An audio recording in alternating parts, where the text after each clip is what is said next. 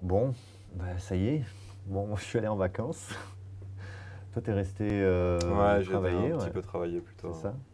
Mais euh, ben, on se retrouve après, euh, après avoir dépioté tout- toutes ces images qu'on a tournées avec la C300 euh, Mark III.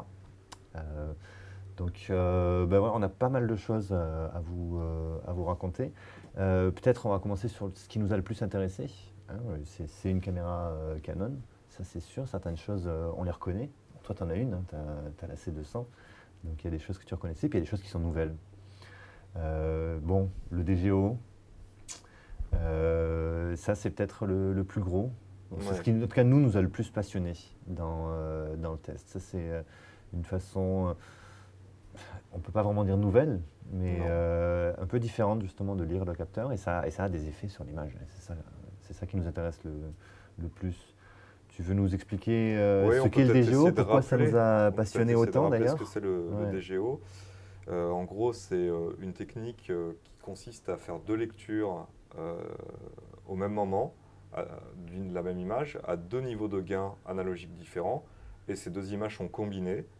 Ça fait une, donc une seule image, mais avec deux niveaux de, de lecture à l'origine. Donc ça fait une, une image HDR tout bêtement. Donc on est censé avoir une bien meilleure dynamique exploitable au résultat. C'est quelque chose qui était, euh, qui était euh, initié par, euh, par Harry avec l'Alexa. Sur la Nef 3, ouais, leur et- troisième et- génération. ouais. et, on sait que le gain analogique, déjà, ça donne toujours de meilleurs résultats que, que faire autrement. Et là, c'est assez intéressant. Tout, tout bêtement, bah voilà, ça fait une image HDR à chaque fois que ça fait une image. Quoi. La, la- la limite peut-être du DGO, c'est que quand on monte euh, dans les hautes vitesses, au-dessus de 50p, euh, il va plus pouvoir être efficace, c'est-à-dire qu'il va se désactiver. Mm. Euh, parce que forcément, le, le processeur de la caméra, euh, il doit combiner en temps réel euh, deux lectures d'images et il a une limite. Bon, on voilà. verra. Ça, on s'en est servi justement pour, pour tester avec et sans. Et c'était plutôt bien, mais peut-être avant de, de rentrer un peu dans, dans les images, on va dépioter ça. Le- juste pour que les gens sachent plus ou moins où c'est qu'on met les pieds, parce qu'on entend des choses comme dual ISO, multi-ISO, ISO analogique, ISO numérique. Euh, peut-être faire un petit peu euh, le ménage là-dedans là, pour, pour Ouais. voir. Est-ce que le DGO, c'est un dual ISO Non. Toi, tu pas dis non. Moi, je dis non. Même si, si sur le papier, Ben, Il y a deux ISO qui sont combinés entre tout à quoi. fait, Ouais. mais euh, dans le dual ISO, c'est l'un ou l'autre. Exactement. Tandis que dans le DGO, c'est les deux en même temps. Et l'autre. Voilà. Exactement. Et ce, à tous les ISO. Alors là, ça devient vraiment compliqué. Mais euh, pour faire le plus simple possible, à la base, il y avait un seul ISO natif, c'est le cas de l'Alexa par exemple, mais qui utilisait cette technologie d'avoir double gain analogique sur euh, son ISO natif, euh, voilà, à ce moment-là. Et les autres ISO de cette caméra, bah, c'est tout bêtement euh, de l'ISO numérique. euh, vous pourriez faire la même chose avec un Resolve, un Photoshop. C'est des corrections de gamme. Voilà, c'est des de gamme. corrections de gamme. On a aussi des caméras qui utilisent deux ISO natifs. C'est le fameux dual ISO natif, euh, initié à, à ma connaissance par la Varicam.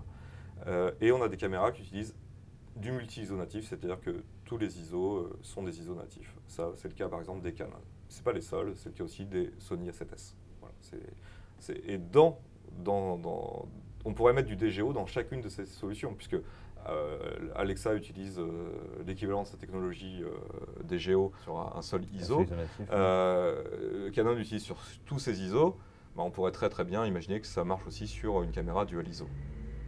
Donc c'est c'est pas concurrentiel, ça vient en plus, c'est- euh, différent. Il y a des points communs parce que c'est de l'amplification du signal euh, qui sort du capteur. C'est fait analogiquement. C'est de l'amplification analogique, ouais, euh, ouais. D'ailleurs, je ne sais pas si ça peut aider à comprendre le truc, mais pour les gens qui aiment bien la guitare électrique, euh, un ampli de guitare électrique à lampe, c'est autre chose qu'une émulation. Voilà, on, on est dans des différences comme ça, mais au bout d'un moment, ça finit par avoir un résultat sur la qualité du grain. Le rapport signal-bruit, pour être plus précis. Le rapport signal-bruit.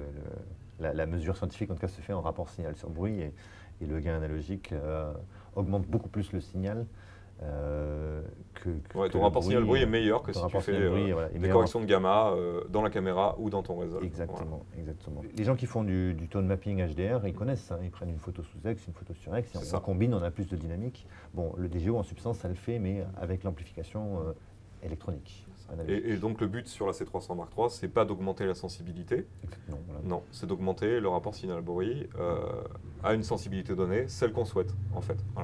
ça, ça, ça, nous a vraiment, vraiment intéressé, on a passionné même du coup, on a, on a ça dans, dans, tous les sens justement avec différents outils de mesure parfois avec des instruments de mesure, des choses très factuelles, euh, parfois plus artistiques, plus subjectives, hein, sur une scène, avec euh, du décor, des tons chers, des choses comme ça. Euh, voilà, ça, nous a bien, bien passionné aussi. une autre chose, c'était le ralenti. Oui, ça, c'est une nouveauté chez Canon. Ça, c'est la première fois qu'il y a une caméra qui fait de la haute vitesse sans crop, voilà, chez Canon. Et en 4K. Et en 4K, bien sûr, tu as raison de le préciser. Donc tu as du 120p, 4K, sans crop, euh, y compris en RAW interne. Ça aussi, mhm. euh, c'est euh, bah, une première. Quoi. franchement, moi je me suis bien amusé avec ces ralentis. Je suis pas forcément d'habitude un, dingue de vitesse parce que ça m'embête un peu de sacrifier la résolution générale, même si on peut le regonfler après. je sais, c'est peut-être psychologique. ça m'embête toujours un petit peu de dire oui, bon, bah, c'est pas grave, ça sera du 2K. Euh, voilà. Mais là, euh, franchement, il n'y a pas de question à se poser. Euh, ça, on, peut, on peut en abuser. Il faudra peut-être quand même essayer de les faire à bon escient. Mais moi, j'ai même gratuitement, comme ça, j'ai quand même apprécié de, jouer avec ces. C'est fun. Dans la vraie vie, en tant que chef-op, tu t'en sers moins d'une fois sur 100, évidemment. Mais, mais le jour où tu as besoin d'un ralenti, c'est chouette de l'avoir et de ne pas avoir besoin d'un autre matériel pour faire, pour faire les ralentis. Hein. C'est vrai. C'est pour ça que la plupart des fabricants maintenant nous donnent des, nous donnent des ralentis. Mais euh, jusqu'à présent, sur le segment qui faisait des ralentis en 4K, euh, il fallait monter sacrément haut en termes de prix et de gamme. Quoi. Donc ça, c'est chouette. Euh, voilà, on, est, on est sur une caméra, bon, à la louche, c'est dans les 10 000 euros. C'est ça, oui, je crois. Qui, qui, nous apporte ça, y, compris en enregistrement en RAW en interne. Forcément, du coup, on a, exploré un peu le sujet. ça, nous a, ça nous a vachement intéressé. Mais bon, tu as aussi regardé l'autofocus? Ouais, bah, parce que en fait, euh, traditionnellement, quand on fait du ralenti euh, sur les caméras Canon EOS C, euh, non seulement on a du crop, voilà, et parfois de la, baisse de résolution, donc ça c'est solutionné, c'est chouette, mais souvent, bah, enfin c'est même pas souvent, c'est tout le temps, on n'a plus d'autofocus du tout. Là, on, a quelque chose qui n'est pas forcément euh, tout à fait aussi bon que quand on est dans les modes standards, mais euh, c'est bien mieux que de ne pas en avoir du tout. Enfin, en tout cas, c'est mon avis. Et tu as pu le tester sur le terrain le, Ouais, j'ai un petit peu essayé de jouer avec dans le temps qui était imparti. Euh, et, ah, voilà, je me suis amusé aussi parce que en plus, je m'embêtais pas à faire le point. Quoi. Très bien, très bien. Bon, on, on, on commence avec la, avec la, dynamique C'est parti. On va regarder si le DGO euh, ça fonctionne dans les mesures de la dynamique déjà. Euh, donc Forest, tu as vu, je t'ai euh, préparé des petits extracts de, Resolve. Et là, c'est la C500 Mark II à gauche contre à droite la C300 Mark II et en log 2, 10 bits 422. Et on voit bien qu'on est sur quelque chose de très similaire. Euh, ce qu'on avait remarqué, euh, à, part que le niveau de noir est, un petit peu plus euh, au-dessus. mais en termes de, diaph, on, peut dire qu'on a 13 plus dans les deux cas. on voit que sur la 500, on est peut-être un, petit peu plus gras hein, tout le long, mais en tout cas, le capteur Super 35, on peut dire qu'il fait jeu égal avec le capteur full frame. en rapport Quoi. Voilà, sans, à un pouillème près, éventuellement.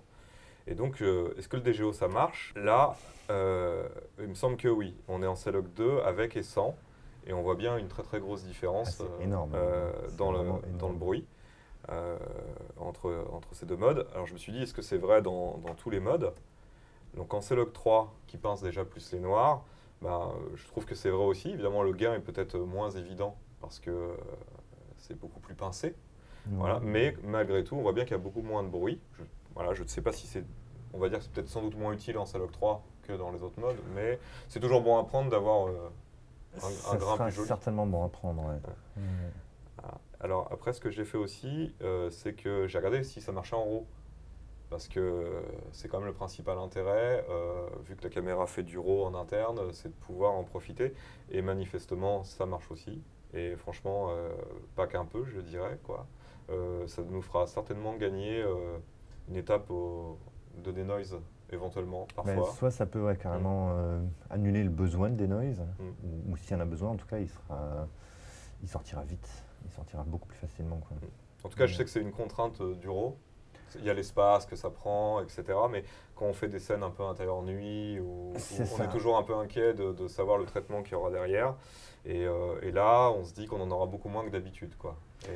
oui, le, rôle, le principe, hein, c'est qu'il est, euh, il est non touché, donc il n'est pas euh, renforcé en détail, il n'est pas denoisé, il est pas, voilà, il est, il est, vraiment très brut. Et donc c'est à nous de prendre la décision derrière de soit supprimer le bruit, soit rajouter du contour, du détail, des choses comme ça. Et là, c'est vrai que du coup, avec les DJO activés, il sort propre, bah, comme les signaux AVC finalement, qui sont, eux déjà pré-traités c'est au moins deux fois plus fin, hein, c'est incroyable. Hein, sur le, seuil de bruit, il est, euh, beaucoup plus discret. Alors après, euh, je me suis amusé à dénoiser l'euro quand même, pour voir. Et là, j'étais quand même assez euh, surpris en bien. C'est j'aperçois un bout du début du 16e diaph dans la version dénoisée. Alors, mmh. est-ce qu'on en fera quelque chose? À mon avis, pas. Non. Mais Néanmoins, euh, Canon a dit 16 Je pense qu'ils ont trouvé 16,00001 diaph quelque part et que euh, on peut dire que leurs prétentions sont plus ou moins avérées. mais surtout, ce que ça nous dit, c'est qu'on pourra certainement compter sur 14 diaph, voire 14 diaph plus. Parce euh, bon, ça, fait beaucoup de dynamique de toute façon. Après, il ne faut pas oublier que là, tu es quand même passé par un, denoise. Tout à fait, c'est du et, vidéo en l'occurrence. Cette opération n'est pas gratuite en temps. Non, c'est vrai. Euh, c'est vrai. Même en coup mais, de euh, mais c'est la première fois que je, vois ce début de 16e diaph. Euh, Écoute, c'est la première fois qu'on voit exactement que la test box, on, voit ces traits-là dans la test box, on les a encore jamais vus. Donc du coup, c'est, ça contribue à la qualité de la texture des ombres. Hein. Donc les, les, noirs sont, sont, manifestement plus purs, beaucoup plus lisses. Je ne sais pas si tu vas nous montrer après les, ces mêmes images dinoiser euh, les images et pas que la lecture du, si, du si, waveform. c'est prévu qu'on ne regarde pas que de la théorie, évidemment. Mais, mais je trouve que c'est intéressant parce qu'on voit bien les niveaux de bruit et euh, c'est assez incontestable. Voilà. Exactement. Euh, On peut le mesurer en centimètres quoi, sur, sur l'écran. non, mais c'est vrai. Et je, me suis, je me suis dit, tiens, j'ai des roches de C200 que j'ai fait au même endroit, sur la même test box, avec la même lumière, et qui fait du cinéma Rollight, exactement le même cinéma Rollight que la C300 Mark III. Euh, dans les mêmes débits, enfin c'est exactement le même, et c'est deux capteurs Super 35 du même constructeur. Ça serait assez intéressant de regarder. Et là, là j'ai vraiment été surpris en bien parce que euh, le Rollight euh, est trois fois plus bruité de la C200 que celui de la C300 Mark III. Alors trois fois, c'est pas une estimation à la louche, hein, c'est l'estimation de nid vidéo. Voilà. Et en tout cas, il n'y a pas photo. Il y a un cas où, où on a largement plus de dynamique exploitable sans dénoiser que, euh, que dans l'autre. Et, donc, ça prouve bien que le DGO, bah, c'est une super euh, bonne chose quand même. Ça soigne énormément les ombres, euh, ça soigne les noirs. Ça, c'est très très remarquable. Et la C200 n'est pas une mauvaise caméra du tout. Hein, c'est la mienne, je la possède. Je suis très content du RAW, hein, il n'y a, pas de souci. Mais là, je suis assez surpris en bien, honnêtement. Et j'ai dénoisé les deux. Pour, parce que alors celui de la C200, je la connaissais. On aperçoit quelque chose qui est le début du 15e diaph manifestement, on en a un peu plus sur la, C, la, C300 Mark III. Voilà, ça c'est incontestable. Donc il y a, y a, vraiment un apport sur euh, la dynamique.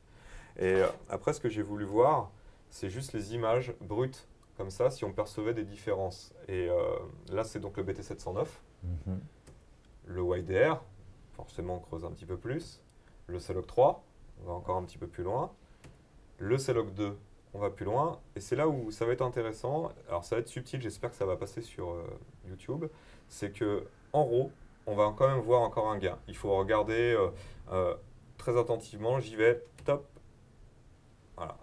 Et on voit sur les petits bonhommes, je vais revenir en arrière. Tu vois, c'est pas un diaph, soyons clairs, hein, mais il y, a encore, ça creuse encore un petit peu plus loin.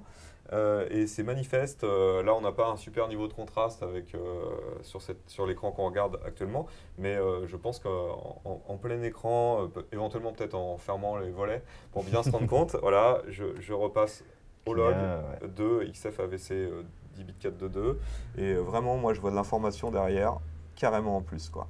Et, et je refais, même sur Carole, ça se voit. Carole, c'est le mannequin du, du repère. On récupère. un tout petit peu plus de texture. et, un peu plus de matière.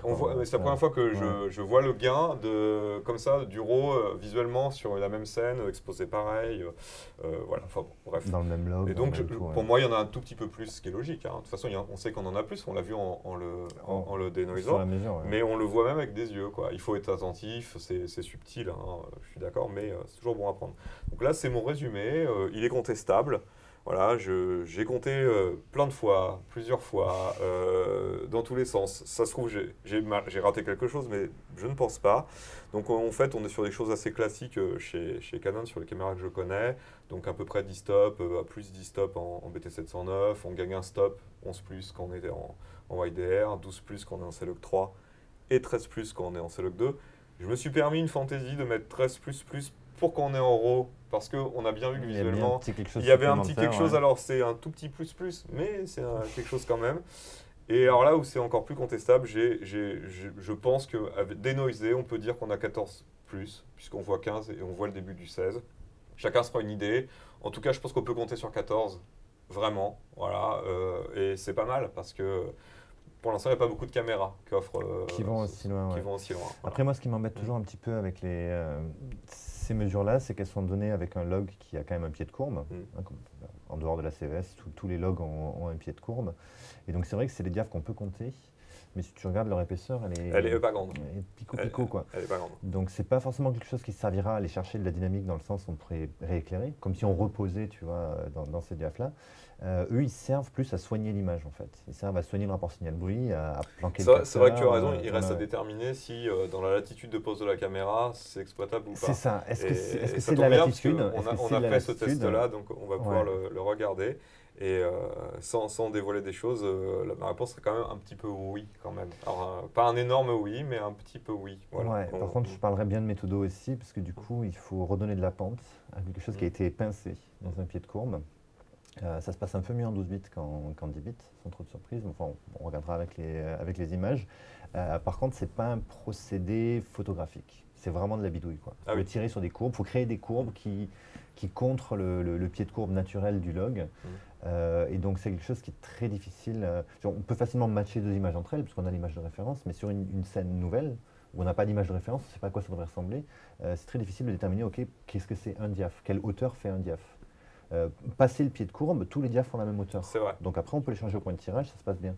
Mais dans le pied de courbe, il n'y a pas de manière, on va dire mathématiquement propre, d'extraire cette dynamique-là. Donc à mon sens, euh, ce que tu appelles les plus, hein, ce qu'on rajoute euh, sur, de, la dynamique, c'est plus du soin d'image que véritablement de la latitude, dans le sens où on pourrait changer. Euh, bon, on a des images qui seront bien mieux pour, pour discuter de ça. En, tout cas, si on regarde juste la théorie, par rapport à ce que moi je connais des caméras Canon, on a un petit cran au-dessus, voire plus que ça, pour le RAW notamment.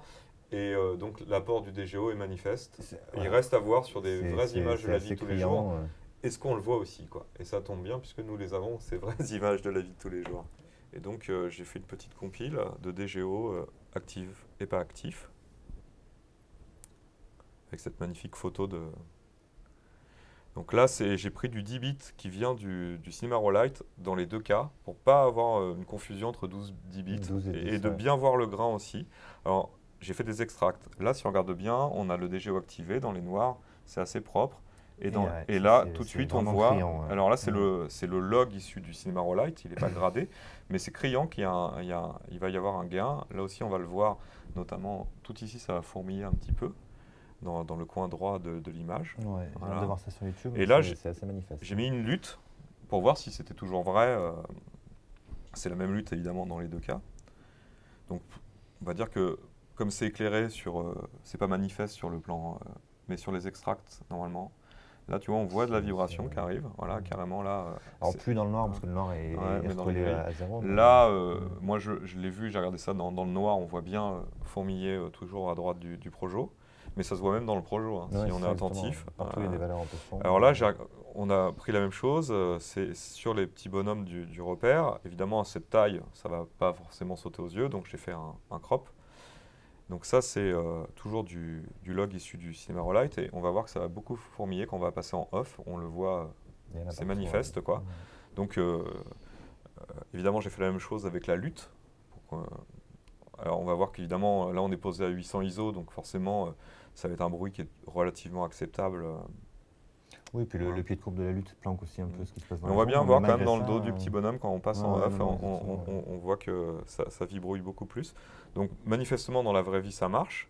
J'ai voulu voir si ça marche aussi en montant dans les ISO, parce que là, on a fait que du 800 ISO. Ça se trouve, euh, euh, ça aurait pu ne pas être le cas. Et, donc, c'est subtil en 6400, mais on va mieux le voir parce que j'ai fait un, gros crop. Il suffit de prendre n'importe quel patch et de bien le regarder. Et en off, on, a plus de bruit. Et j'ai vérifié à 25600. Là, on le voit carrément sur le, le gris neutre. Voilà, euh, central, il n'y a pas besoin d'attendre le crop.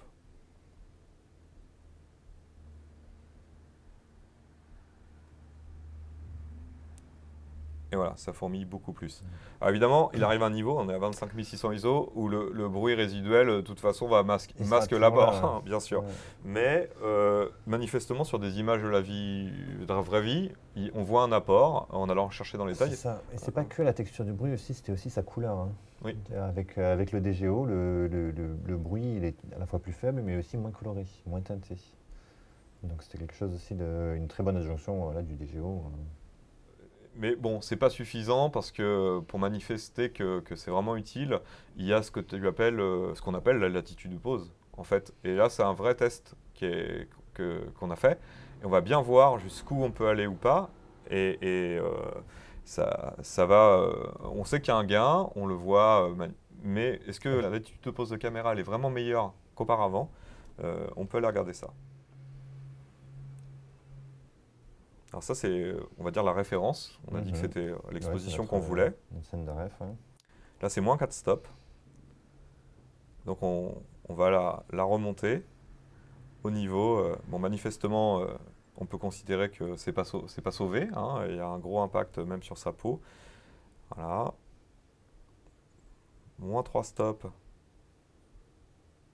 qui est redressé sans doute euh, sauvable, mais euh, on ne peut pas dire que par rapport à les références, il n'y ait pas de différence. Quoi. Non. Hmm. Mais là, ils ne sont pas dégrainés non plus. Donc non, non, j'ai fait aucun effort pour qu'on voit bien. on pourrait le sauver. Le moins 3 stops, on le sauve. Moins de stops avec, voilà, qui, qui, rétablit. On va le comparer tout de suite avec la référence. Pour moi, c'est neutre. En tout cas, c'est montable. Voilà, il n'y a, aucune, il y a aucun regret à avoir. Évidemment, moins un stop, il va, ça va être encore mieux. On va dire que si on le compare avec la référence, euh, bah, il n'y a pas de différence du tout. Alors là, on passe à la surexposition.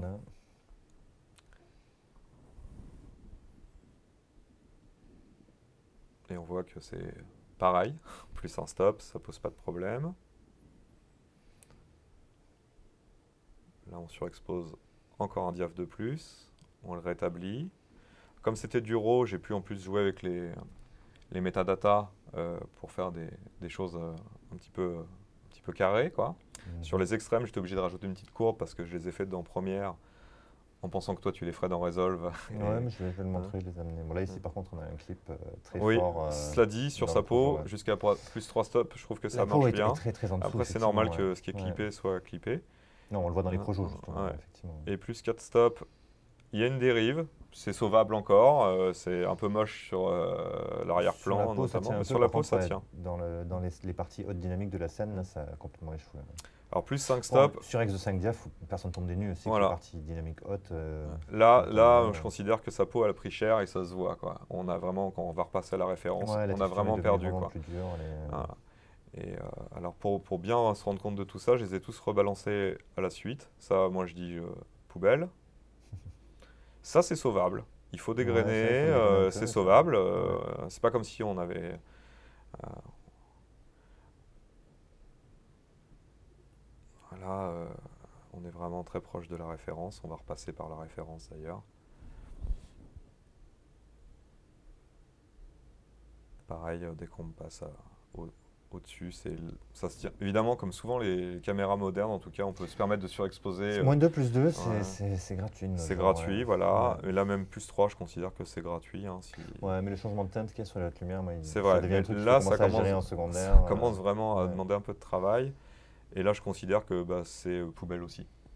Sachant qu'on a fait plus 6 stops que j'ai préféré ne pas traiter tellement c'était euh, éclaté sur ses Ouais, peaux. c'est- En fait, elle trou- elle a Voilà, été trouée. La, la peau fait un sacré Et, et on trou, avait fait euh, moins euh, 5, du coup, euh, stop. Et j'ai considéré aussi que c'était tellement grainé que ça ne valait pas le coup. De toute façon, si moins 4 et plus 5 déjà. Ouais, sont- voilà. sont Alors, ce coup, que, ce que je peux dire, juste avec l'expérience que je l'ai fait, ces mêmes tests, pas dans les mêmes conditions bien sûr, mais avec la C200 et avec la C500 Mark II. Et donc, je- euh, voilà, par rapport à ça, je peux me caler sur. euh, moi, je déconseille euh, avec une C200 de sous-exposer. Moins 2, c'est sauvable. Moins 3, c'est poubelle, c'est sûr. Mhm. Voilà. Et moins 2, j'ai bien dit, c'est sauvable. Moins 1, c'est gratuit. Ça, il n'y a pas de souci. Euh, avec la C500 Mark II, on peut aller un petit peu plus loin parce qu'on va notamment plus facilement dégrainer parce qu'il y a le côté 6K qui, est- qui fait du 4K, bref. Donc on peut s'autoriser plus facilement moins 2. Mais là, je trouve que le moins 3, il est sauvable. Donc on a vraiment gagné au moins un stop de latitude dans les basses lumières, si ce n'est un peu plus. En termes de surexposition, ça change pas grand-chose, c'est exactement identique aux, aux autres caméras, mais on a vraiment gagné quelque chose, c'est-à-dire que si on a, on a une petite à la sous-ex, on va pouvoir se le permettre plus facilement avec une C300 Mark III qu'avec, euh, en tout cas, euh, ses cousines, ça c'est sûr. Et, et ça, me- ça me fait penser à, à l'Alexa qui est à mon avis bien aimé aussi pour ça, qui utilise... Qui aussi utilise le DGO du coup. euh, ouais, qui utilise le DGO, Enfin, il c'est le différemment, mais c'est. euh, voilà, ouais. on, peut, on, peut, on peut poser un peu bas sans s'en mordre les doigts, on va dire. Et, et donc, tu vois, le gain de l'altitude, il est vraiment là. Évidemment, il n'est pas fou, on fait pas moins 4 stops. Je rappelle que l'image était vraiment noire, hein, on- on- Mhm. personne n'aurait tourné ça normalement. Euh, on peut voir qu'il y avait des, petits artefacts euh, qui étaient liés, à mon avis, à- au vignettage, vu que je suis parti du RAW. Euh, on, on a pu voir sur un cercle sur les, les moins 4 stops qui sont redressés et même plusieurs cercles. On avait empilé tellement de ND que, à mon avis, ça a dû se passer quelque chose dans, dans- entre l'optique et le capteur. Mais euh, c'est vraiment un cas où je pense que personne n'aurait tourné cette image. Voilà, à Non, mon avis. voilà, et, c'est ça. Même pas par euh, accident. même pas par accident. ouais, effectivement, ouais. et toi, je sais que tu les as dans, dans Resolve Ouais, ouais, aussi. je, les, hein. je les ai dans Resolve. Justement, j'avais envie de, de parler un petit peu de, ce, de cette histoire de pied de courbe. Euh, si, si on regarde globalement hein, le- une, euh, une courbe, euh, une courbe log, donc ce que vous voyez ici, la courbe rouge, la courbe Canon log 2, voilà. Donc tu vois, elle a une partie qui est linéaire, Mhm. hein, où, où chaque diaph de dynamique est vraiment une, une portion euh, proportionnelle, en tout Mhm. cas euh, au voltage d'entrée, jusqu'à arriver à un petit endroit, et ça c'est le pied de courbe, et ici ça s'arrondit. Il se trouve que les, hein, les, les gammas de sortie aussi maintenant intègrent un pied de courbe, hein, donc qui, permet, notamment justement de soigner un peu les, noirs et dans cette zone ici, mais le log lui-même aussi a un pied de courbe.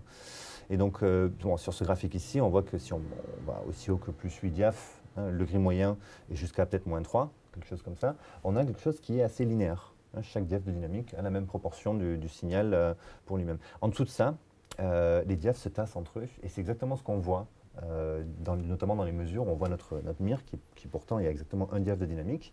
C'est très droit Mhm. pendant la vaste majorité du, euh, de la descente. Et puis tout d'un coup, il y a un, un pied de courbe. Je vais revenir ici euh, sur, sur Resolve. On va essayer de passer sur notre, notre charte ici des essais. Et donc on voit des marches qui sont très linéaires. Mhm. Et puis tout d'un coup, en bas, ça part dans un pied de courbe arrondi. Et ça, le problème, c'est qu'on on peut très facilement gérer les surexpositions. Euh, globalement, si, je reprends notre, euh, scène de, ref qu'il y, a- ici, on a la, référence euh, ici, et je vais prendre une nouvelle version, on va la mettre toute nue. Voilà. Donc on a notre plan de ref et un plan qui est surexposé d'un diaph. Pour corriger cette surexposition, globalement, comme mon signal est tout linéaire, j'ai qu'à décaler le, le signal. Tu fais de On l'offset. peut- quoi. C'est de l'offset, Mhm. pur et dur. On appelle ça des points de tirage. Printerlight, on peut le faire au clavier ou on peut le faire à, à- à cette roue ici. Et donc, ce- vous allez vraiment observer ici, je vais superposer les deux, euh, les, les mettre euh, l'une à côté de l'autre. Quand on regarde les deux courbes, ce ce qu'on a vraiment ici, comme on voit, c'est que celle de droite, c'est la même que celle de gauche, elle est juste décalée vers le haut. Et donc, si on veut descendre l'exposition, il suffit de descendre ici, on retrouve la même courbe, on peut les, ramener ici exactement au même niveau, on obtient la même, la même image. Parce qu'on est dans la partie linéaire de la courbe, il suffit de décaler ça vers le bas. Euh, c'est pas vrai du tout de l'autre côté. Si on part sur les, les les plus sombres, si j'arrive à localiser ici euh, ceux qui sont de plus en plus sombres,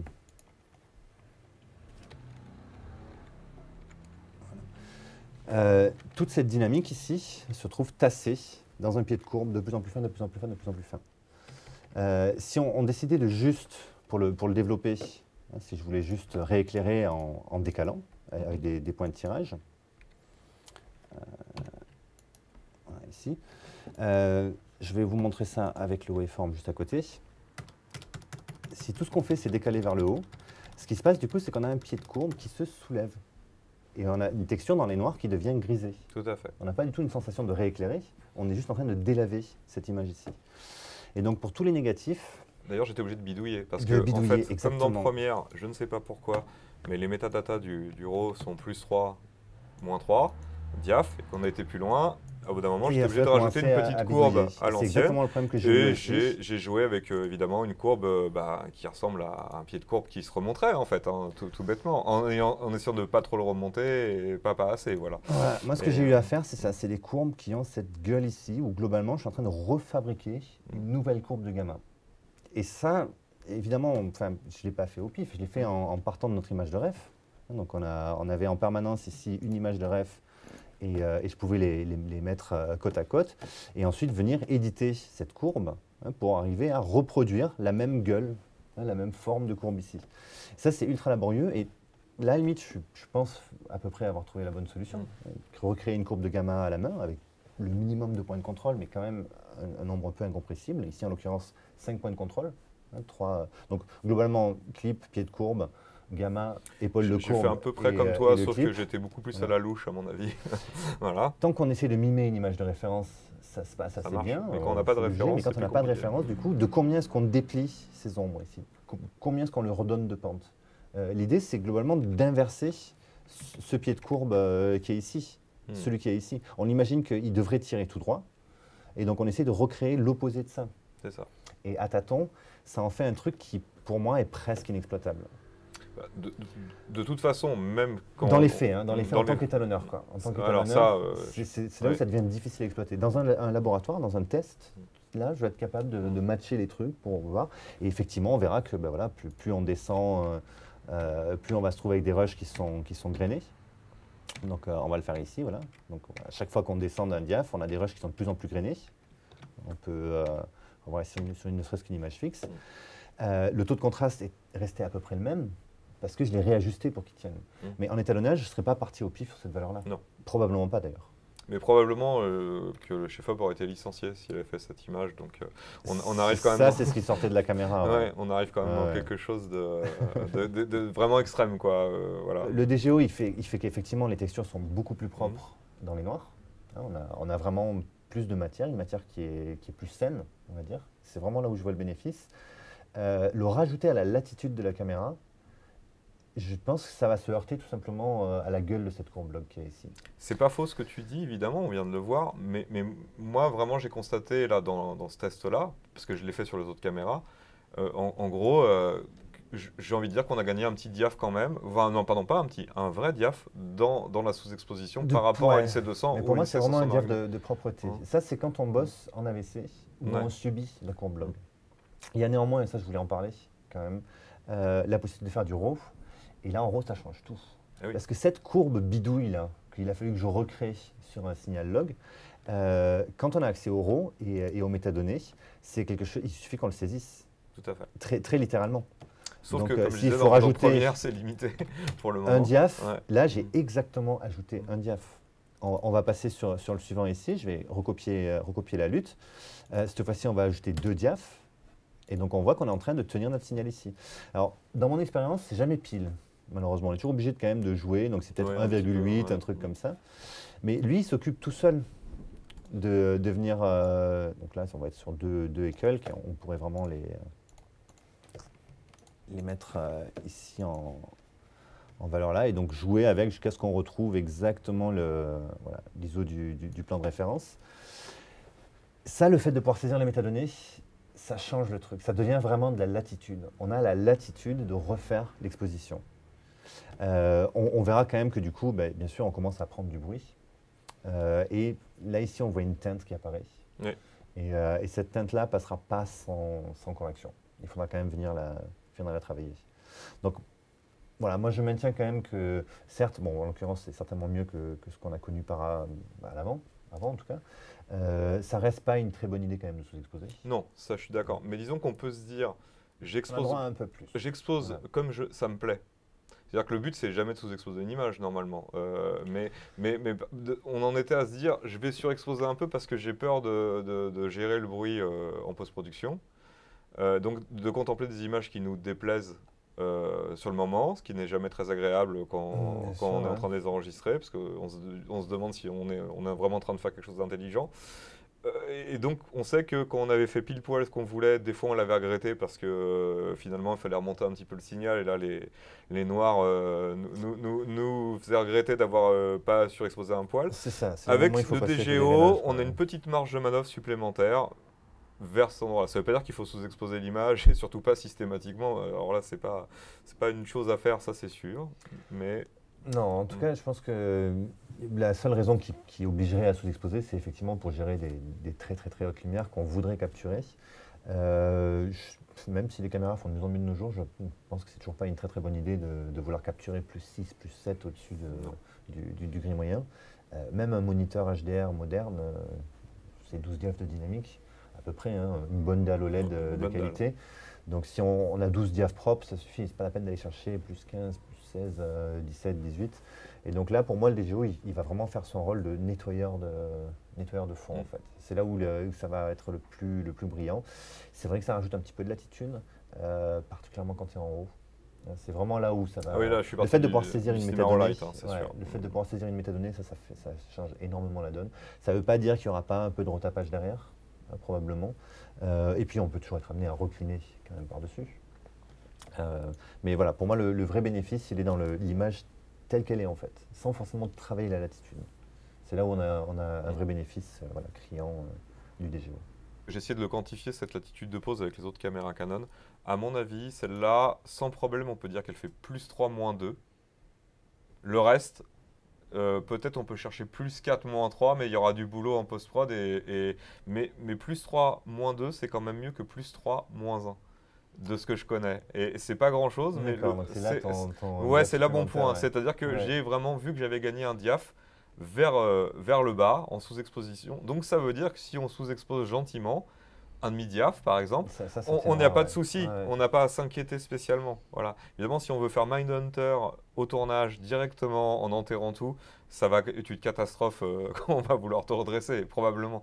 Mais euh, voilà, il y, a une petite euh, tranquillité d'esprit à faire un intérieur nuit, notamment en RAW, parce que tu sais que tu as pu à, dégrainer, enfin en tout cas beaucoup moins, et que tu sais que si tu la posé juste, ou juste un peu en dessous du juste, parce que qu'est-ce que c'est posé juste, je ne sais pas, ben c'est pas très grave. C'est pas très grave. et tandis qu'avant, sur d'autres machines, euh, ça peut, on peut avoir des regrets. On peut dire là, euh, j'aurais, j'ai été, un petit peu, euh, été un peu trop vite là. J'aurais peut-être dû quand même poser un peu plus haut parce que c'est une grosse galère maintenant de tout devoir passer à nid vidéo et, le réalisateur est pas très content. Mm.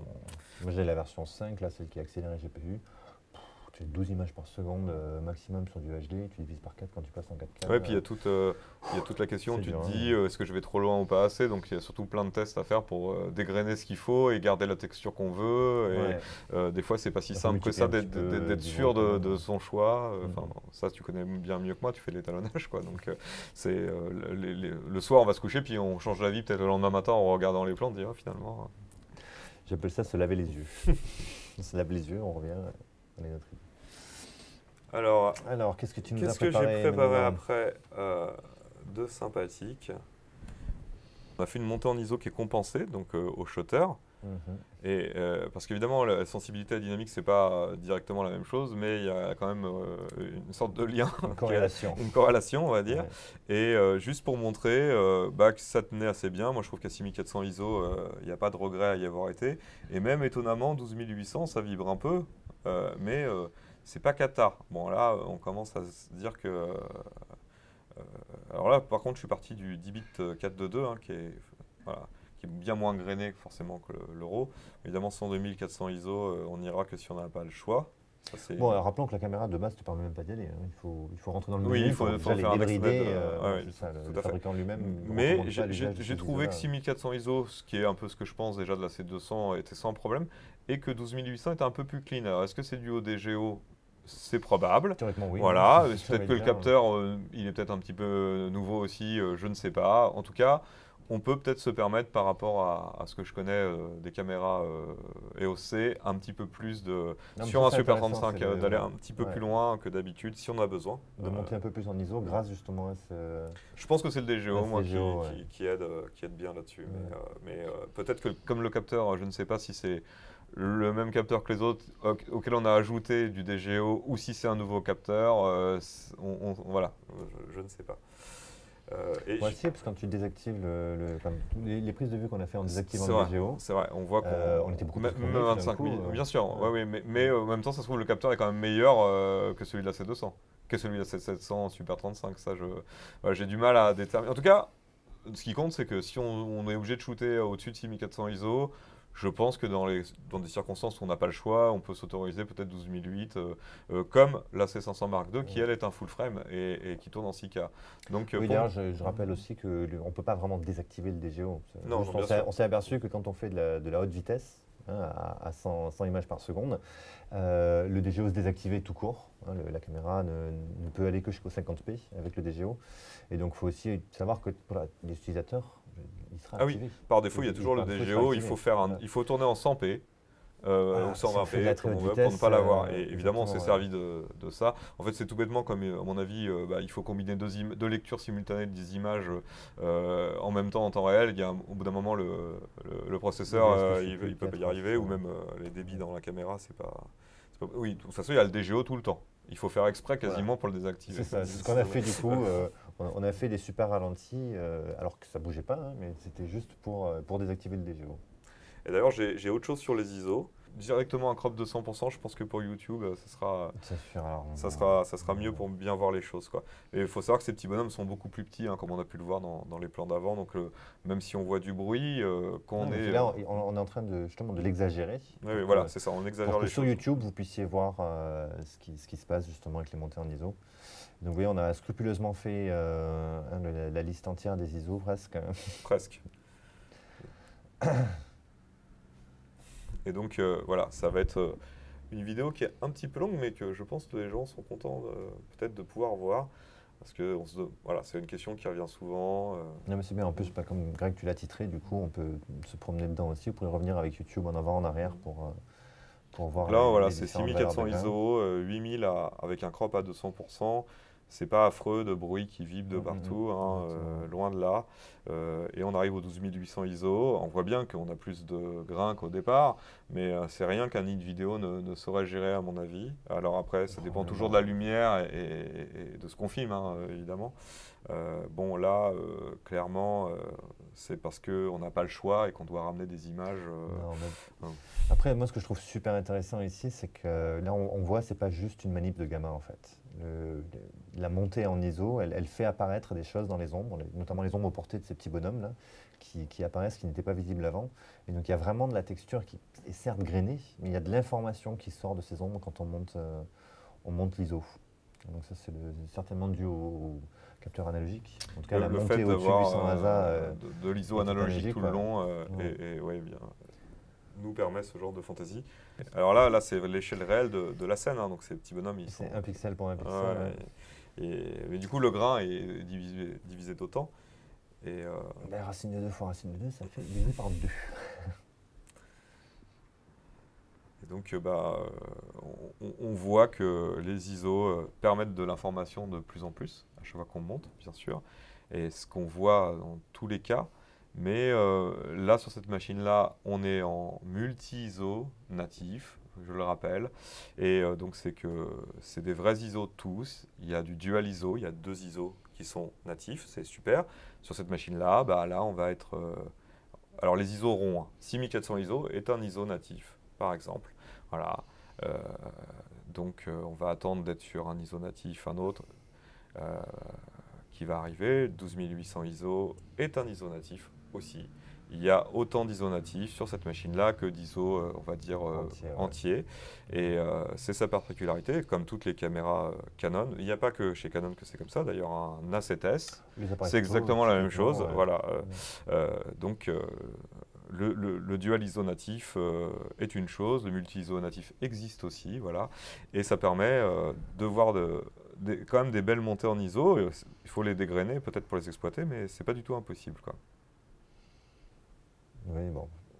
C'est peut-être ce qui a rendu justement l'Alpha 7S aussi populaire, c'est que Bien sûr, voilà, bien sûr. en, en s'autorisant un peu de dégrainage derrière, on est capable d'avoir des scènes qui, on voit De mieux, voir que- mieux que avec nous dans le nos- noir, nos, yeux, euh, nos yeux humains pourtant.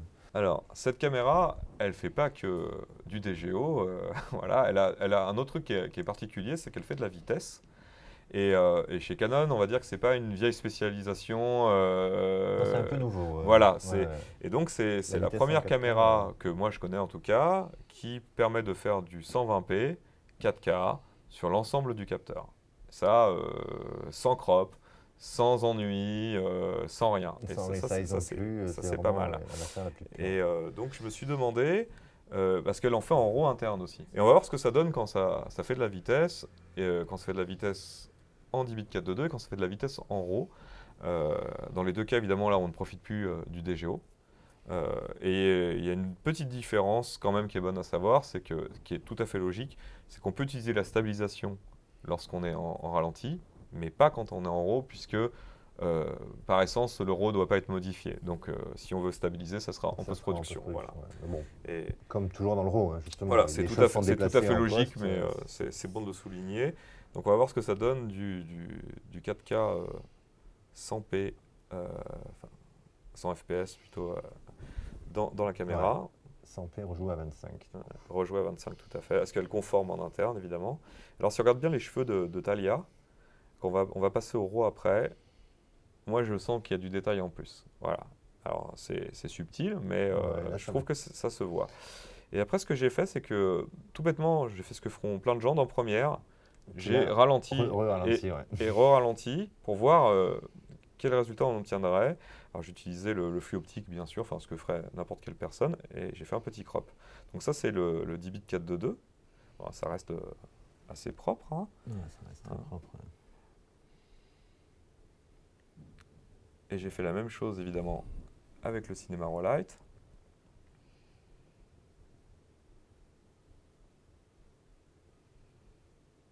Et dans les cheveux, très clairement, moi je vois, et pas que dans les Un cheveux, peu plus de piqué. un peu ouais. plus de piqué Ouais. et tout. Et donc, quitte, quitte à, disons que, quitte à vouloir le ralentir encore plus, il vaut mieux peut-être partir du RAW, c'est normal, comme on a une image qui est plus Mm. détaillée, plus riche. Euh, en post-production, quand on va aller euh, reconstruire des images qui n'existaient pas, on va avoir plus de Tu as matière. conscience que ça, ça va t'arriver tout le temps. À chaque fois que tu as besoin de plus de matière et plus de qualité, on va retomber sur le Non, non, RAW. Et, ça- et- et YouTube va te répondre, mais t'es gentil. C'est- Alors, beaucoup de place, quoi. C'est vrai, c'est vrai, mais ce que je veux dire, c'est quand même un classique de vouloir euh, encore plus de ralenti et de vouloir faire. on aimerait bien peut-être faire du 200p. Voilà, euh, avec cette machine, bah non, on s'arrête à 100 ou 100 120 comme À on veut le voir. ouais. Et donc, euh, quitte à, à- à prévoir déjà de le ralentir par la suite, comme on peut le tourner en RAW, on aura beaucoup plus de matière pour en post-production. Vraiment, parce que là, on est, on est, on est dans du traitement lourd de, de post-prod. euh, Oui, va- que le, flux optique ait plus de, de points voilà, elle a- euh, exactement. Il y a, il y a ouais. plus de, de- Forcément, le résultat sera meilleur. Voilà, c'est une possibilité qu'on a avec cette caméra parce qu'elle permet de faire du RAW à haute vitesse, quoi. ouais. Et donc, je, ouais, je considère que c'est plutôt sympa. Voilà. Et on est en 4K. Et on est en 4K, Exactement. sans crop. Sans Et crop, full frame Super 35, Voilà. 4K, quoi. et il y a même un autre truc qui est rigolo, c'est que euh, on a la F. Parce que sur une C200, on est sur tout le capteur, mais on n'a pas d'AF. Et on est en 2K pour la même vitesse. Sur une C500, on est en crop Super 16, en 2K, et on n'a pas d'AF. Sur cette machine, on a un AF. Alors, il n'est pas aussi. euh, il ne dispose pas déjà des mêmes fonctions que dans les modes, euh, on va dire, standards de 50p ou de 25p. On perd le tracking visage. On perd aussi le tracking tout court, c'est-à-dire de sélectionner euh, un objet euh, pour le suivre, une, une zone de pixels finalement pour, pour la caméra. Mais pour nous, ça peut être une voiture qui passe dans le champ, enfin peu importe quoi, euh, quelque chose. Cette fonction-là n'est plus disponible. Par contre, il y a toujours l'autofocus continu qui est disponible. Donc ça revient à choisir, si on veut faire d'autofocus continu, un, un point AF, un, un collimateur, et de garder le sujet dans le collimateur finalement. Faire par le cadrage. Voilà, Ben, c'est mieux Ouais. que quand même rien, éventuellement, si on, on en a besoin. C'est pas forcément idéal. Et quand on a, fait un test avec Talia, alors c'est un test qui était un peu rapide dehors, où, où on a eu quelques déboires, et je voulais les montrer pour montrer que, voilà, moi qui suis un fervent partisan d'autofocus, des fois ça ne se passe pas bien. Et, et- et- mais malgré tout, on va voir que c'est quand même peut-être mieux de l'avoir quand même malgré tout. Voilà. Ça, là, ça s'est relativement bien passé. Là, on a, on a le point, euh, c'est correct.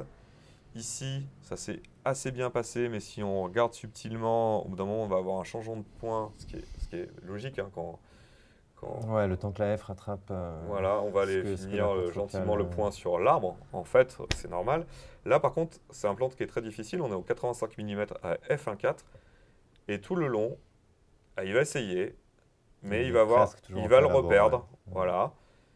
Et au final, ça va être très long, mais on va voir le point. Alors, oui, quand elle s'arrête, quoi. voilà.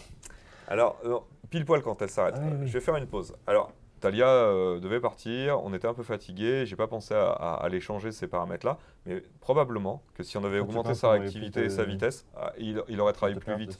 Et euh, forcément, nous, le temps nous apparaît court, mais pour euh, l'autofocus, c'était long, ces, ces images à suivre. Donc, euh, je pense que clairement, en augmentant la vitesse, ça serait passé. Mais toutefois, bah, c'est pas passé. Celui-là, c'est un, un problème qui est un peu inverse. C'est-à-dire qu'on a bien le point, il n'y a pas de souci. Et tout d'un coup, en fait, il va sauter sur l'arrière-plan. Et là, parce que Oui, justement, parce que le sujet est décadré, ouais. voilà, on aurait, pu, Ouais. on aurait pu aussi éviter ça en diminuant sa réactivité tout bêtement ou en loquant l'autofocus, évidemment. Mais néanmoins, 90% du footage euh, est, C'est est- ça, et là on est- peut aller couper dedans les voilà. morceaux qui sont. et bon, sont- je me suis dit, on va la mettre à l'épreuve euh, du terrain. Vraiment. Et des images sportives. je me suis rendu à mon club de vol à voile euh, avec mon 70-200 pour faire des images de trucs qu'on ne peut pas prévoir, euh, de planeurs et d'avions. On ne peut pas savoir quand est-ce qu'ils vont se poser, exactement où, euh, comment, donc c'est un peu challengeant. Il faisait super chaud, on voit les vibrations de, de chaleur. Je me suis fait cramer littéralement sur ce terrain. Euh, D'ailleurs, je fais un peu de pub, c'est le CVVE de Bayeux, près de, de- de- de Chartres. C'est une, association, hein. si vous voulez aller faire un tour de planeur, euh, n'hésitez pas, ils sont très sympas. Et donc, euh, j'ai fait du 120, et, enfin du 100p et du 50p pour pouvoir justement mettre un peu l'autofocus à l'épreuve. Là, donc, on est en 100p, euh, et, et on va voir que ça va tenir très très bien la route. euh, ce point, euh, il y a eu un tout petit effet de pompage là. Je ne sais pas si c'était visible et ça sera visible sur YouTube. Là, c'est l'opérateur qui n'a pas une vitesse suffisante pour aller le récupérer, c'était dire moi. Ouais. Non, mais c'est, je ne sais pas que- quelle vitesse vraiment on se croise à ce moment-là, mais ça fait un, un panneau violent même s'il passe. Et donc, bah, en fait, de toute la journée, il m'a jamais lâché. Voilà, et ça c'est quand même une bonne chose. C'est-à-dire qu'on est vraiment euh, ok, on peut avoir des, des soucis comme on a eu avec Talia, mais globalement, euh, Oui. là, on, est, on, est, on a le point, on est juste. Je T'étais pas non plus à 2.8 et. Si, si, euh, je suis à F2.8 là. Peut-être à 2.8. Ah ouais, j'ai tout fait euh, pleine Tout fait à pleine ouverture. Ah ouais, et euh, fait ça euh, bah, pour tester l'au- l'autofocus. Ah, pour tester, tester Tu l'as l'autofocus. torturé exprès. Exactement, pour voir euh, si ça marchait. Alors j'ai fait des parties en... Là c'est du 50, et là j'ai pu utiliser le tracking. Oui. Donc j'ai sélectionné euh, le planeur du fond, et euh, je lui ai dit tu fais le point dessus, et moi je m'occupe de rien que de- d'essayer de, de suivre le planeur.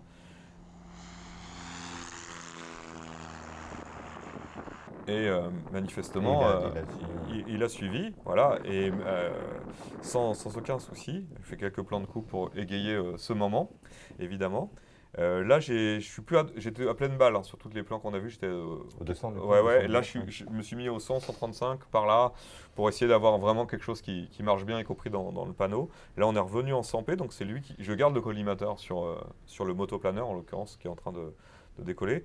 Et on, va, on va voir que le point y est sans problème, hein, puisqu'on aperçoit même que l'hélice se rentre dans le nez. euh, on voit bien comment c'est fait, Mhm. etc. Et, euh, donc, euh, il n'est pas en train de décoller à 1 km/h. hein.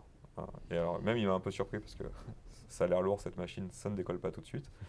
Voilà, j'ai eu euh, pas de souci du tout. euh, au résultat, c'est juste moi qui ai à la limite réussi mes panneaux ou pas. La lumière était pas terrible parce qu'évidemment, c'est. Alors Elle est ça, un c'est- peu écrasante, mais. voilà. ça c'est intéressant, c'est un ULM. Et là, je vais le faire à l'épaule en le traquant en 50p. C'est-à-dire que là, je suis sur pied, je le suis gentiment, mais le, le décollage, euh, et je vais le rater complètement parce qu'il va vouloir faire le show-off. Donc là, il, il est traqué hein, je- en 50p. Et j'avais pas prévu que il ferait ça. Donc je suis à l'épaule, j'en voilà, c'est pas évident pour aller le récupérer, mais il a gardé le point alors qu'on a fait une sortie de champ pour lui du tracking. Il l'a retrouvé quoi. Mhm. Et ça, c'est pas mal. Et ça m'amène à dire quelque chose d'intéressant, c'est que j'avais pas le viseur. Et au point, sans un point de contact à l'œil, bah, c'est vraiment pas agréable. Donc euh, la, cam- la caméra peut avoir un viseur, c'est une option. Moi je conseille vraiment de, de la budgéter, quitte à, à prendre cette caméra, parce que ça manque vraiment, surtout quand on est en plein soleil comme ça. Euh, voilà, le, le viseur m'aurait aidé et à faire mes expositions et à, à voir si j'avais le point. Et bien sûr, elle m'aurait même aidé à stabiliser la caméra au point, parce que j'avais pas de crosse d'épaule, bien sûr. Ouais, pour lequel avec ta tête, Ouais, ouais. exactement, juste pour, euh, pour avoir un point de contact. Rien que pour ça, c'est super important. Et ce que je peux ajouter, et ce sera plus pour la blague, c'est que vraiment, il faisait très très chaud. Euh, J'ai dû tourner tous les gens que je connais, ça leur fait plaisir d'avoir des images où, voilà, la caméra n'a jamais chauffé. Jamais, jamais, jamais. J'ai fait la carte entière, une 512 Go. Euh, en ce moment, c'est un sujet. Voilà, il y a des appareils euh, photo qui, qui peuvent avoir des coups de chaud. Euh, là, il n'y a pas de problème à se poser. On peut tourner en plein cagnard avec cette machine. Quoi. Et tant qu'on reste dans les 30 à 50 pieds de distance, euh, pas de problème avec l'autofocus. Ah, je pouvais pas me rapprocher plus pour des raisons Non, de sécurité, tu te doute doutes bien, parce qu'il il y a des machins qui font euh, 16 ou 18 mètres d'envergure. Si tu regardes bien, ils, ils passent pas si loin que ça. hein. Je suis vraiment. euh, on peut pas être plus au bord de piste. Quoi. Donc évidemment, euh, évid- évidemment que si tu es F1.4 comme le plan qu'on voyait avec Talia, c'est beaucoup plus difficile pour euh, l'autofocus. Et surtout, Et- elle, était, elle était à 3 pieds. Quoi. Ah, oui, voilà, 35 é- pieds, é- euh, évidemment. mais voilà, mais très près. essentiellement, euh, un des usages de ce genre de caméra, 1 ça- mètre, 1 mètre 50. Ouais. euh, ça va être de faire du, ça va être de faire du sport ou des, des choses comme ça. Voilà, un des usages de faire des ralentis. euh, J'imagine filmer un match de foot ou, ou des choses comme ça. Donc avec un tel objectif, on, on sait qu'au moins on pourra compter sur l'autofocus dans ce cadre-là. Dans le cadre d'une fiction, je sais pas si euh, évidemment au 85 mm f1.4 faudrait pas mieux avoir un pointeur. Ça c'est un autre, euh, un autre sujet. Mais en tout cas c'est Ça, une fiction, il aura de toute façon. donc, il, la est pas question, tout- c'est ce qu'il utilisera ou pas. Voilà, il est, l'autofocus, il, il est pas totalement dysfonctionnel du tout. il, il donne des résultats sur lesquels on, on peut compter. C'est ce dont je voulais m'assurer en tout cas. Et j'en ai pas l'habitude puisque d'habitude on n'en a pas en, slow motion chez Canon. Donc, euh, et peut-être ça va s'améliorer parce que j'ai vu que sur le R5 ils faisaient du tracking visage euh, en 4K 100p. Donc il n'est pas impossible qu'on ait une mise à jour un jour euh, sur la C300 Mark III qui fasse la même chose, hein, puisque bon, c'est peut-être pas le même processeur à, à l'intérieur, certainement pas de, même de, de la caméra, donc c'est peut-être pas possible, mais en tout cas, euh, c'est pas impossible non plus. Ils ont réussi à le Mhm. faire sur une machine, ils peuvent peut-être le faire sur, sur d'autres. Et puis les gens du software, ils ont parfois se gêner ouais, d'arriver à, à rajouter une fonctionnalité qui n'existait pas. Alors il me reste Carole en discothèque. Carole en discothèque, Euh, ouais. Mais peut-être euh, à la limite, je peux te laisser le faire parce que je vois que tu as tous les fichiers qui sont prêts. Ça, c'est un, un truc. Autant tout le monde a plus ou moins compris le, le fait qu'on a plus de dynamique Mm. quand on, on shoot en, en log et puis ensuite euh, en, en RAW. Euh, par contre, pour ce qui est gamut, c'est- c'est toujours quelque chose qui est un peu approximatif. Les gens ne se rendent pas bien compte. Et puis finalement, on rajoute une lutte derrière de toute Mm. façon, quoi qu'il arrive. Donc, euh, bref, ça, c'est un truc. je- je- on a fait ces images-là, du coup, avec notre très célébrissime euh, Carole maintenant, qu'on a éclairé avec un verre ultra pur. Hein, le, le verre le plus pur qu'on puisse produire avec, euh, avec un projet Roscoe. Euh, on vous mettra le- le- la ref pile en XY euh, du, type de teinte. euh, et ensuite, on l'a capturé avec plusieurs équations de gamma gamut euh, différentes. Et donc, euh, voilà, ce que- ce que- ce qu'on vient de voir ici, c'est qu'il y a un moment ici où notre, euh, notre capteur sature. Enfin, on a cette impression, on a l'impression que le, le capteur sature. Et donc, euh, bon, d'une part, on perd de l'information visuelle, mais on perd aussi de la couleur. Alors, ce plan, c'est le plan en, en Rec 709. Et on a donc un gros trou qui s'est formé, qui s'est formé sur le front. Alors, la même chose capturée, du coup, euh, en, euh, en log, Mhm. hein, Canon Log 2, euh, Cinéma Gamut. Ben là, on voit que du coup, qu'on- a l'habitude d'avoir dans le log, quelque chose qui est très, euh, très délavé. Et donc, on n'a plus le trou dans le, dans le front, on n'a plus le, le problème de dynamique. Euh, moi, j'avais envie d'insister cette fois-ci non plus sur le problème de dynamique, ça je pense que tout le monde a compris, euh, sur le gamut, hein, sur qu'est-ce que ça change justement d'avoir un, un gamut un peu plus large. Et donc, euh, pour ça, on va utiliser une, une des nouvelles options euh, de, de Resolve qui permet de prévisualiser, on on va rester en Rec 709, Mhm. et de prévisualiser ici euh, la couverture des couleurs du gamut. Et donc on peut voir ici que ce rush, hein, je, vous le remontre, euh, voilà, on a des, des- des couleurs qui sont clippées. Euh, ignorez le, le côté euh, luminance, Mhm. hein, c'est pas forcément ça qui, qui- qui nous intéresse. Euh, ce qui nous intéresse, c'est l'actuel gamut, hein, la chromaticité qui vient ici et qui est clippée. Et tous a- ces pixels ici, Il y a des verres qui ne qui pas. qui ils pas sont en dehors. Donc, euh, nous, j'ai plus la coordonnée exacte en tête, mais on essaie de produire ce vert ici, plus ou moins au niveau de- de- de- du curseur de ma, de ma souris. Donc ensuite, bien sûr, comme la peau était rose, ça bave, on a plein de verres autour, mais ils sont tous hors gamut, ils sont clippés. Euh, donc voilà, je vais maintenant rebasculer cette timeline en Canon euh, Log 2, euh, Canon Cinema Gamut. On va passer sur notre rush en log et je vais vous afficher ici maintenant le même diagramme de chromaticité.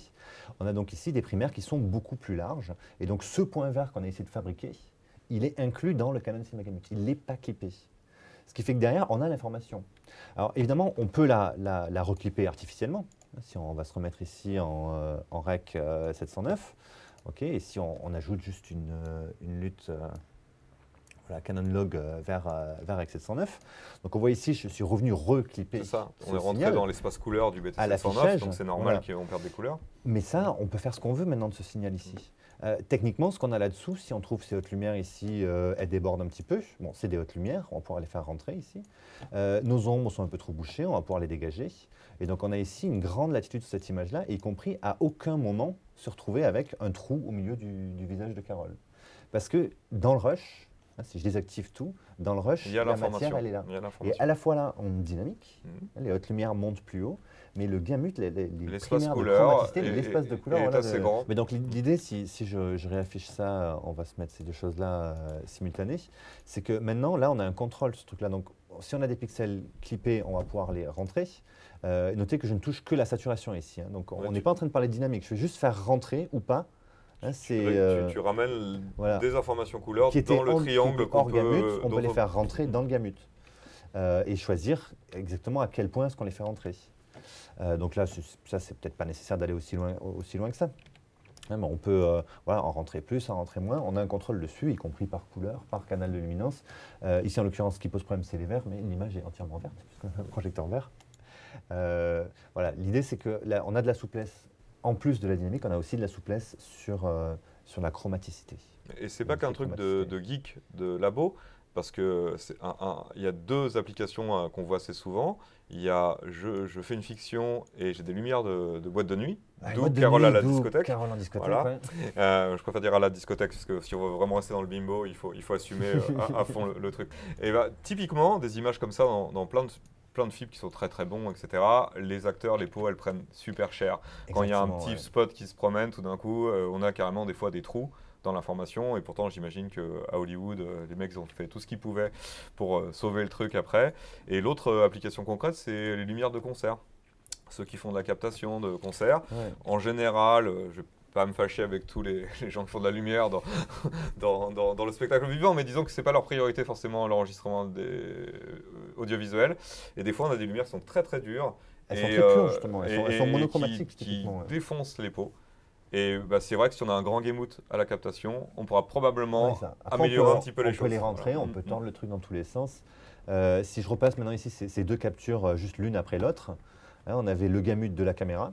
Donc ça c'est notre, euh, bah, notre log Canon gamut, hein, Canon log 2. et ça c'est la version avec 709 qui est pré-clippée bien sûr aux, aux, couleurs qui sont affichables sur un écran avec 709. Euh, donc ça, moi je trouve ça extrêmement dommage d'enregistrer ça, alors qu'on a la capacité d'enregistrer beaucoup plus de gamut. D'autant que la lutte technique, finalement, si on utilise les luttes elle techniques, à ça. Elle, va, elle va faire l'opération pour nous de ramener l'information qu'on a enregistrée, qu'on ne, voit, qu'on ne voit pas sur notre écran. Elle va nous le ramener dans ce qu'on peut voir, mais on l'aura si on va aller plus loin. Il n'y a pas d'effort. un euh, qu'on pourra pour euh, faire rentrer. D'où éventuellement l'intérêt d'utiliser des luttes 3D aussi, c'est de récupérer des couleurs d'un gamut qu'on ne peut même pas voir. nous, sur notre moniteur BT709. Quoi. Ou alors, il faut passer par ICs ou, ou d'autres moyens. D'autres sciences couleurs, exactement. Alors, qu'est-ce qu'on peut dire de cette C300 Mark III en, conclusion? Euh, Moi, j'aime bien, bien cette caméra. Le, DGO, ça m'a bluffé. Euh, surtout, euh, je trouve que son apport dans, le cinéma raw light est, vraiment séduisant. c'est toujours quelque chose qui, on se dit oui le RAW déjà c'est pas mal de contraintes euh, même si euh, de moins en moins mais euh, le bruit dans le RAW à traiter moi c'est quelque chose auquel je pense qu'on fait des choses un petit peu un petit peu intérieur nuit des choses comme ça. Et là enfin trois fois moins de bruit. Voilà trois fois moins de bruit sur un Super 35 4K dans les deux cas moi, euh, me. en plus, tu l'as comparé à ta caméra. Ouais, j'ai comparé à une caméra que je connais bien. Je l'ai comparé à la C500 Mark II que voilà, j'ai pratiqué aussi. Et, mhm. et c'est la seule qui propose ce, type de gain. Et de pouvoir avoir euh, aussi euh, une, accepter de, de- de poser juste, on va dire, et pas de, s'embêter à se faire des nœuds au cerveau en se disant, je vais peut-être surexposer un petit peu et tout ça. C'est quelque chose que je trouve vraiment, euh, vraiment appréciable. Voilà, ce serait, euh, on, on serait dans un autre contexte économique. Je pense que ce sera un investissement que je ferai euh, bien volontiers. Voilà, on verra plus tard. J'espère le faire un jour, ou peut-être je, croiserai une autre machine qui me séduit mieux. Mais vraiment, voilà, j'ai été presque jaloux en voyant un, un petit peu, voilà, en voyant le, le résultat. Et je suis étonné en bien en fait, et, donc assez convaincu. Et franchement, l'autre truc qui m'a bien plu, bah, c'est quand même de pouvoir faire des ralentis euh, sans crop. C'est vraiment le truc le plus, euh, le plus embêtant que- qui existait. euh, par exemple, sur la C500 Mark II, tu, tu passes en Super 16 tout d'un coup. Donc bah, voilà, c'est pas impossible du tout, mais c'est pas rigolo Non, de. ouais. Voilà, et, là, c'est quelque chose, on, on dit tiens, on veut le faire, bah, on le fait. Voilà, il suffit de, de- de- de bouger deux, options et c'est parti, on, on le tourne comme d'habitude. Et voilà, voilà. donc je suis assez séduit par cette machine. Je suis surtout vraiment bluffé par le DGO, ça marche. Euh, et, et je pense que c'est quelque chose, j'espère que Canon va, va le, le déployer sur toute sa gamme de machines désormais, qu'on- qu'on- qu'ils ils savent le faire, qu'on sait que c'est, c'est, ça a ça a un- une valeur ajoutée. un, un réel Ouais, un bénéfice, réel voilà, bénéfice, et, ouais. et j'espère qu'à l'avenir, bah, euh, de plus en plus de machines auront le DGO. Je, je crois qu'il y a une C70 qui va sortir ou qui sera sortie euh, bientôt, qui aura le même capteur que, que ce- cette 7300, qui sera à mon avis encore plus accessible, et, et ça peut être en tout cas une, une réelle motivation. Je ne sais pas du tout ce que, ce que vaut la caméra, je ne sais même pas le- si elle existera vraiment, c'est une rumeur pour l'instant, hein, soyons clairs, mais euh, si, si c'est vrai que c'est le même capteur, euh, ça en fait un argument de, de poids, à- à mon sens en tout cas. Ouais. Non, moi, au, au niveau labo, j'ai vraiment été euh, assez épaté. Euh, toi, effectivement, en plus, tu, tu connais bien l'ergonomie, donc euh, c'est une caméra qui tombe déjà naturellement dans Oui, les mains, voilà, ça, je n'ai pas de, de regrets là-dessus. euh, Ouais. Ouais, elle, elle est, elle rentre vraiment très bien dans sa famille. euh. Ouais, ouais, c'est la le- même, exactement on, que a, la on, a, C500. hein. ouais, on a reçu le carton, et il- Oui. il y avait marqué C500 dessus, C'est quelqu'un a rayé, a marqué C300 Mark III, et, euh, parce que c'est lit- littéralement le même carton qui peut, qui peut l'emballer avec les mêmes mousses dedans. euh. donc ça, c'est euh, voilà, un produit qui, ceux qui connaissent Canon vont, vont- vont vraiment retrouver, retrouver leur petit là-dedans. Et euh, et il y a une vraie valeur ajoutée. C'est- pas pour rien qu'on s'est concentré sur le DGO, c'est parce que c'est ce qui, c'est ce qui fait le plus, euh, voilà, ce qui le sort, en tout cas le plus de, de- des, des autres produits alors actuellement euh, sur le marché. Bon après moi pour connaître bien l'implémentation ARRI Mhm. justement du DGO, euh, sur les ARRI, le- la, la- la dynamique qui est rajoutée, elle est rajoutée par le haut. Donc on a, on a un des capteurs les plus dynamiques du monde euh, sur, euh, sur une Alexa et à l'étalonnage du coup ça donne bon, chose dont on a pris, on a pris l'habitude. Euh, sur celle-là j'ai trouvé que étonnamment tout était rajouté en bas, tout était rajouté dans les noirs.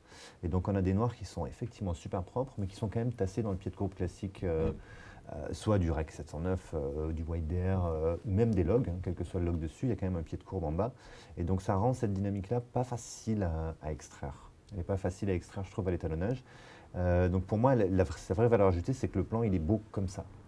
Et vous connaissez sûrement, tous ces conseils qu'on donne maintenant aux jeunes, aux jeunes opérateurs. Attention, il ne faut pas sous-exposer, il vaut mieux surexposer et tout ça. Euh, Ça donne l'impression qu'on va pouvoir arrêter avec ces conseils-là con. hein. Et juste poser, quoi. Poser juste. Le plan, il est beau tel quel. Euh, et c'est pas qu'il faudra rééclairer dix fois ou réassombrir dix fois. On va essayer quand même de faire de bonnes images. Nous, on, l'a torturé au possible des moins 4. Enfin, jamais de la vie on fera ça par accident. C'était pour voir jusqu'où est-ce qu'on pouvait aller avec, euh, avec, avec la machine. Et, effectivement, bon, il y a beaucoup de dynamique tassée dans le pied de courbe. Euh, je la trouve pas facile à extraire. Par contre, je la trouve très belle là où elle est. Et, donc, on a, un rush qui est bah, très élégant, hein, justement, très pur. Euh, il se peut que certains, euh, finalement, vont bah, se mettre à rajouter du grain derrière. Ah, Ça, c'est quelque chose qui est un choix esthétique euh, qui, peut être, qui peut être fait si on veut justement l'image un peu vivante, parce qu'elle est vraiment très propre. Elle est surprenamment propre. Et, euh, moi, je- en tout cas, j'étais vraiment épaté par notre- les tests labo. Ce Mm. qu'on a sorti de là, ça m'a- vraiment bluffé. Donc voilà. Je vais aussi dire oui au ralenti. Hein. On va jamais dire non à un truc comme ça. Et, euh, et le RAW interne, euh, le RAW interne quand même m'a vraiment, vraiment bluffé aussi. À ce niveau-là de prix, euh, c'est, il n'y en a pas beaucoup. hein. Il y en a quelques-uns Oui, dans la compétition sur le marché qui, qui le font, mais ils ne sont pas nombreux. Là, ça se passe bien, le- les cartes, ça se passe bien, le stockage, euh, même le volume des rushs. Moi, j'en fais souvent du RAW. Très honnêtement, c'est parfaitement gérable. Non, en 4K, ça reste euh, Ouais. pas la plaie du tout. quoi. Non, Ça, voilà, c'est- plus gros que l'AVC, hein, ça, il n'y a pas de doute. Euh, moi, je trouve gérable. En plus, il y a le son sur les cartes en RAW et tout. Il y a plein de choses qui, qui, qui sont très fonctionnelles. C'est assez, assez bien pensé. Bon, maintenant, voilà, DaVinci Resolve, il prend les rushs euh, natifs, on édite les métadonnées.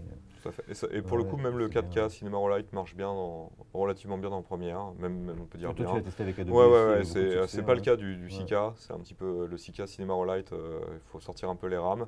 Euh, Enfin, ça dépend évidemment de la machine euh, dont on dispose, mais euh, franchement, euh, le 4K, ça va, ça tourne même sur une machine euh, puissante mais un peu ancienne, on va dire ça comme ça.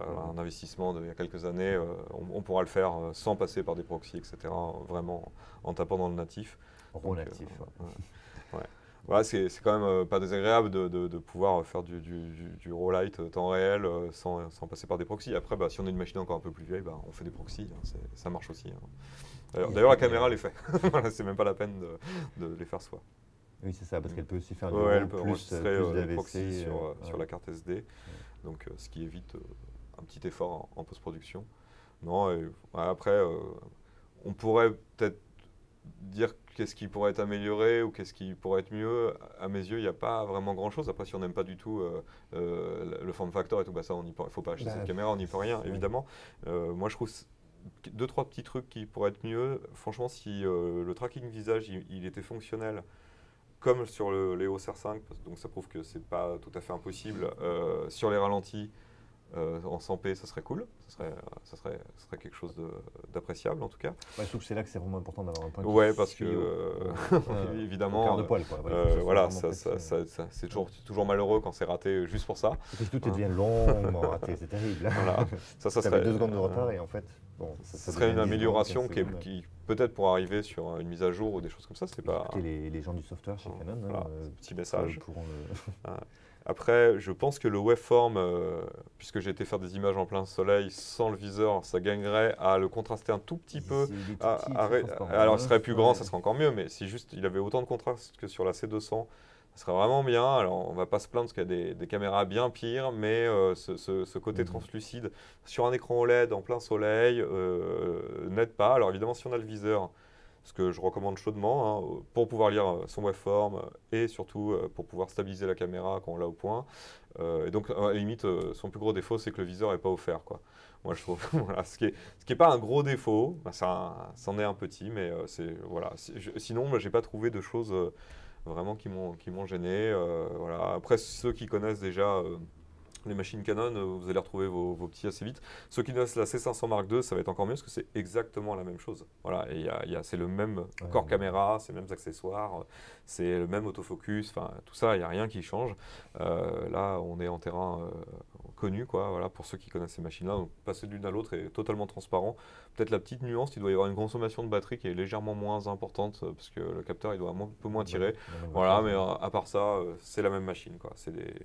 Bon, bah voilà. En tout cas, moi, le DGO, euh, je suis plutôt... euh, je dis oui. Très, je très dis oui. convaincu, ouais. Et j'espère que, Ouais. que ça, que à la limite même euh, d'autres marques vont, vont avoir euh, l'idée de, de, de s'inspirer de ça et de, de, de- Ouais, de de- le proposer dans leur machine parce que voilà, ça, l'idée de Harry était vraiment manifestement quand même pas mauvaise et donc Ils ont sorti il y a 10 ans ce truc-là. hein. Voilà.